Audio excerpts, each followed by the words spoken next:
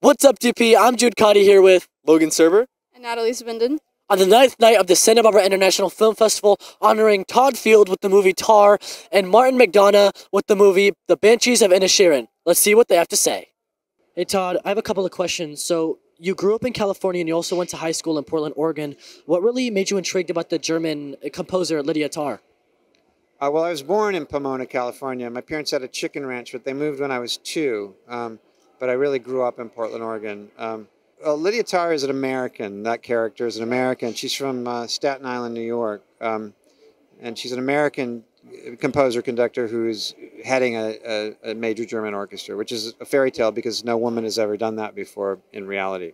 Um, and you also went to acting school in New York, and not only that, but you were also a jazz musician, and you were also in countless movies earlier in your life. So where, like, when did you have that switch from uh, acting and directing, and what made you want to do that? Well, I always, you know, I'd always wanted to make my own films, and I acted for a very short period of time, about five years, I guess, when I was younger, when I was probably about your age. Um, and uh, as soon as I could get behind the camera, I did. And while I was in film school, um, I had made a film right before I went into film school that went to the Sundance Film Festival as an actor with Victor Nunez, a director who had a film here last weekend, actually. Um, and uh, it won the grand jury prize and had some attention. And so my phone kept ringing. So I continued to act even after film school, um, just to pay off my student loans. In the last scene of Tar, was it really was it a dream or was it really reality? Oh, I don't know. I mean, that's. Have you seen the film? I have, yeah. Okay. Well, what do you think? I don't know. It came out of nowhere, so I would love for it to be reality, but it'd be pretty cool if it was a dream. Well, it's it's up to you.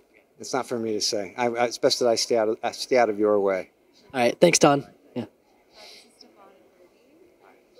Hey Scott, can we ask a couple questions? Uh, can you give us a little insight on what you do? Yeah, so I'm the executive editor of awards coverage at the Hollywood Reporter, and I host our podcast, Awards Chatter. And then one week a year, I come up here and do a few of these tributes. And what really uh, inspired you to pursue this career? I love movies, which I think um, probably most of the people you talk to, I bet they say. For me, um, I got into it because I loved old movies, and then I realized that, you know, there's not every new movie is up to the standard of the great classics, but there's still every year a handful, and so that's why I cover the awards stuff specifically because that's the the best of the new stuff. And I mean, you do something really, really cool. So, what was the best moment of your career? Ooh, that's tough. I think the first time I got to go to the Oscars because that's what I watched and loved growing up, and um, it was very surreal to finally get to go. All right, thanks, Scott. Thank yep. Hey, Martin. So, with having such a unique storyline in the movie The Banshees of Inisherin, where did the inspiration for the movie come from? Uh, I just really wanted to tell a breakup story, really, between two friends and, and set it in the most beautiful place that I could, which is the west of Ireland. What, what, what advice would you give to young aspiring filmmakers, particularly those um, you know exploring the world of the film industry? Um, just to have a vision, have tell your own stories, just believe in yourself, and keep working until keep working and working until it's it's good. Especially if you're a writer, just keep keep doing it and trust your own opinion. And be honest. Oh yeah, yeah, you're good. Thank you.